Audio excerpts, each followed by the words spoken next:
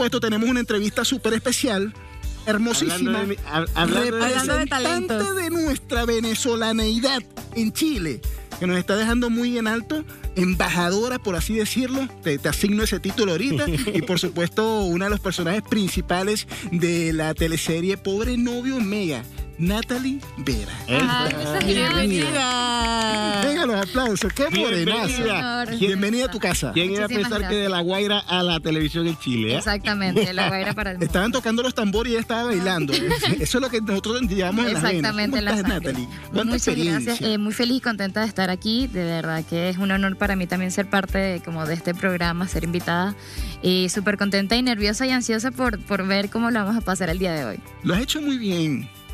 Estás eh, en un puesto que, que muy pocos venezolanos han alcanzado el día de hoy. Sí. Humildemente hacemos lo que nos gusta, a lo que nacimos, Sí, esto, los medios, la televisión. Lograste un papel súper importante en la teleserie eh, Pobre Novio y que ha cautivado muchísima gente. Ah, sí, de verdad que es un honor y bueno, para mí un sueño cumplido poder realizar eh, este sueño de actuar en la televisión de acá, una de los, de los en una teleserie súper vista en, en todo Chile y también en la plataforma de HBO Max. Estoy súper orgullosa O de sea, que cumplir son ese sueño. cientos los ojos que te están mirando. Sí. Siempre tuviste ese sueño. Tú cuando migraste, agarraste tu maleta y dijiste, mi rumbo es Chile, ¿qué voy a hacer allá? ¿Cuál No, fue tu pensamiento? Este, yo nunca tuve como esa inseguridad. Yo dije, yo lo voy a lograr allá. Si yo voy a dejar mi país es para cumplir mis sueños. O sea, yo obviamente tuve trabajos de todo tipo al llegar acá, pero siempre como inclinándome hacia este medio como tal. O sea, siempre estuve allí a pie del cañón, esforzándome, tocando miles de puertas, llamando a mucha gente, intentándolo. eh, haciendo pequeños pasos poco a poco, pero siempre haciéndome notar para poder llegar como a donde estoy. Así es, el venezolano que sale, sale con ganas. Con sale con ganas de hacerlo bien, así como lo hiciste tú. Cuéntame un poquito, cuéntanos a nosotros un poquito de cómo es ese proceso de hacer un casting. Tuviste que enviar un video, tuviste que pasar algún correo, conociste a un productor. ¿Cómo fue ese, ese proceso del casting para llegar al- a la teleserie? Eh, no, bueno, yo ya había trabajado anteriormente con, con de haciendo pequeños personajes como de extra, eh, personajes como bien de, de transeúntes, y siempre que estaba en esos, en esos comerciales, en esas grabaciones, siempre estuve como con esa Con esa espinita con de. esa de espinita hacer como algo. de hola, mira, mucho gusto, ¿sabes? Donde puedo consultar como, como todos, porque Como obviamente es un medio totalmente distinto. Ya yo conocía un poco lo que es el medio venezolano, pero acá era algo totalmente nuevo. Eh, estuve como allí picando, picando, picando, hasta que luego conseguí poder trabajar con, con la actriz Carolina Arredondo. Eh, yo fui su coach porque ella tenía un personaje de actriz venezolana, entonces necesitaba una actriz venezolana que le ayudara con, con el acento. Con el acento. Estuve trabajando con ella y bueno, ya después que, que estuve en esa producción hace más de dos años, me llamaron a mí y dijeron, oye, ¿sabes qué? Que, que nos acordamos de ti porque necesitamos un personaje. Si puedes venir a hacer un casting. Yo fui muy wow, o sea, casi dos, tres años después, pandemia. Todo menos mal que no cambié de teléfono, eso es un dato. no cambié de número- teléfono. número de teléfono ni de correo. Se comunicaron conmigo porque me habían recordado eh, como, como de ese proyecto y me, me pidieron ir al canal ya con un personaje. Este, yo obviamente estaba trabajando como recepcionista en una clínica dental, me escapé, puse 8000 excusas, perdóname, pero lo hice, eh, fui, eh, llegué como súper enfocada con el texto aprendido, con el personaje ya eh, internalizado un poco en mí. Y cuando fui a hacer el casting fui como la primera, yo, yo, yo quiero pasar de primera, yo, yo tengo como todas las ganas y lo- siento que lo di todo. Y después de que terminé de hacer el casting fue que empecé yo a temblar, a llorar como de los nervios, de la ansiedad. Pasé todo un mes como en esa angustia de saber si me iban a llamar, si no me iban a llamar, hasta que por fin me llamas y bueno, ahí fue donde yo, siempre lo digo, caí arrodilladas y pedí al sol, al, al- a Dios y al universo, de verdad, muchas gracias por por, por fin darme este momento de, de paz donde sabía que iba a poder eh, realizar el trabajo de mis sueños, que es actuar. ¿Tú habías estudiado actuación en Venezuela? Estudié teatro en la Universidad Nacional de las Artes en Venezuela. No logré terminar porque obviamente era como o me iba o terminaba de graduarme. Claro. Y es una de las cosas que todavía tengo como esa espinita de quiero terminar de graduarme, pero sí, ya tenía experiencia con el ámbito, eh, porque también soy cantante, también canto. Estudié teatro en la universidad y también trabajé como corista. Fui corista de Arán, de Los Boys, que ahora son Víctor y Gabo, eh, de Nelson. También estuve con Gustavo Elis. Eh, Una vida mezclada siempre sí. al medio. Siempre al estuvo en el medio Exacto, rodeada de artistas, Hice comerciales, hice comerciales como para Melting Polar también.